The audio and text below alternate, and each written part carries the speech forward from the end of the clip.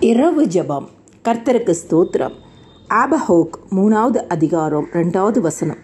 கர்த்தாவே வருஷங்களின் நடுவிலே உம்முடைய கிரியையை உழிப்பியும் வருஷங்களின் நடுவிலே அதை விளங்க பண்ணும் கோபித்தாலும் இரக்கத்தை நினைத்தருளும்.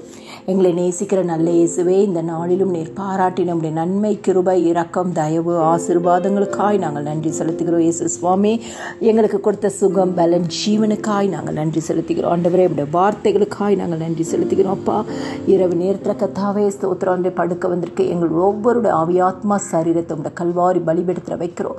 எந்த பாவ சாப கட்டுகள் இருந்தாலும் கர்த்தருடைய ரத்தத்தினால கழுவி பரிசுத்தப்படுத்துங்க. அதிகாலை எழுந்துமை பாடி மகிமைப்படுத்தி உடைய வேத வசனத்தை தியானிக்க எங்களுக்கு கிருப கொடுங்க.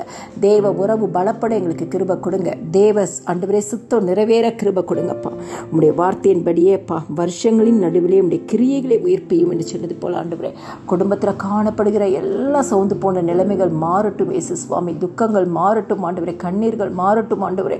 கர்த்தர் வருஷங்களின் நடுவிலே உங்களுடைய கிரியைகளை உயிர்ப்பீங்கப்பா ஒவ்வொரு குடும்பத்திலும் சமாதானமும் சந்தோஷமும் பரிபூர்ணமான ஆசிர்வாதமும் உண்டாகட்டும். இந்த மாதம் நீங்கள் வாக்கு கொடுத்துருக்கீங்களப்பா. இனி தீங்கை காணாதிருப்பா நீ. இரவில் படுக்க போகிற ஒவ்வொருத்தருடைய வாழ்க்கையில் இருக்க தீங்கை கர்த்தர் காணாதபடிக்கு வருஷங்களின் நடுவில் என்னுடைய கிரியைகளை உயிர்ப்பீங்கப்பா. ஒவ்வொரு குடும்பத்தையும் வெளியரங்கமான அற்புத அடையாளத்தினால ஆண்டவரே ஆசீர்வதிங்க. சாட்சிகளை எழுப்பித்தாங்கப்பா. சகல துதிகன மகிமை எல்லாம் உமக்கு ஏறெடுக்கிறோம். ஏசுவின் நாமத்தில் பிதாவே. ஆமேன்.